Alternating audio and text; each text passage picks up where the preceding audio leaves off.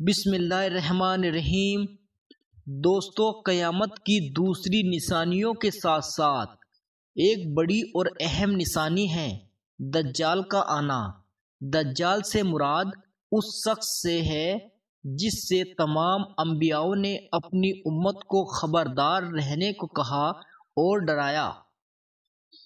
हज़रत इमरान बिन हुसैन रज़ी अल्लाह तु कहते हैं कि मैंने रसूलुल्लाह सल्लल्लाहु अलैहि वसल्लम को यह इरशाद फरमाते हुए सुना, आदम सलाम की पैदाइश से लेकर क़यामत आने तक दज्जाल से बड़ा कोई फितना नहीं है।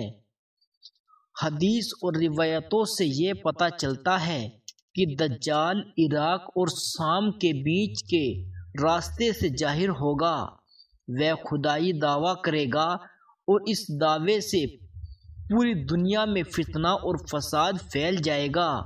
वह एक आँख का काना होगा और उसके माथे पर लफ्ज़ काफिर लिखा होगा, जिसे सिर्फ़ मोमिन जो अल्लाह पर यकीन रखने वाले हैं, वही पहचान पाएँगे। दज्जाल को मानने वाले ज़्यादातर यहूदी होंगे। वे अपने मानने वालों की एक फ़ौज तैयार करेगा। इस फौज के साथ वह खाना काबे पर वार करने की कोशिश करेगा। लेकिन अल्लाह के हुक्म से फरिश्ते उसकी इस चाल को नाकाम कर देंगे।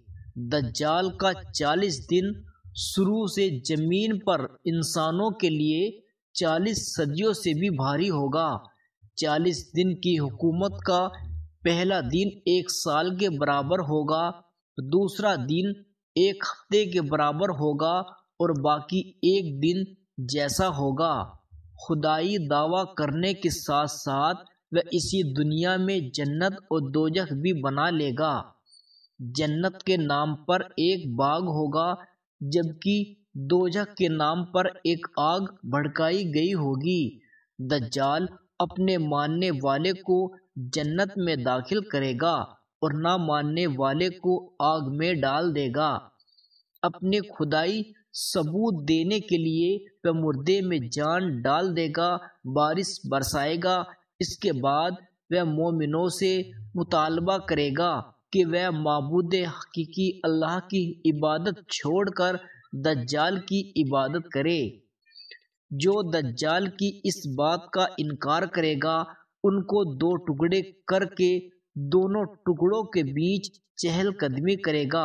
फिर दोनों टुकड़ों को जोड़कर ज़िंदा करेगा, फिर उनसे अपनी इबादत करने को कहेगा, लेकिन अगर वे इनकार करेंगे तो उन्हें आग में डाल देगा। दज्जाल के फितने और उरूज में औरतों का बहुत बड़ा योगदान होगा, बल्कि दज्जाल के लश्कर में भी औरतों को एक नुमाया हैसियत हासिल होगी। यहाँ तक कि दज्जाल की एक स्पेशल सिक्योरिटी औरत ही होगी, जिसका लकब लाइबा होगा। अबू सईद खुदरी कहते हैं दज्जाल जहाँ भी जाने का इरादा करेगा, उससे पहले एक लाइबा नामी औरत वहाँ जाकर कहेगी, तुम दज्जाल से डरो दज्जाल तुम्हारी तरफ़ आ रहा है और उससे मुखालफत ना करना। वरना नतज अच्छे नहीं होंगे। हुजूर अकरम सल्लल्लाहु अलैहि ने फरमाया, जब दज्जाल निकलेगा, सबसे पहले औरतें इसको मानेगी। और एक दूसरी हदीस में हुजूर अकरम सल्लल्लाहु अलैहि ने फरमाया, दज्जाल की तरफ़ सबसे ज़्यादा औरतें माइल होगी। यहाँ तक कि आदमी अपनी माँ, बहन, बेटी और बच्ची को बाँध देगा। इस डर से कहीं वो दज्जाल की तरफ़ ना चली जाए।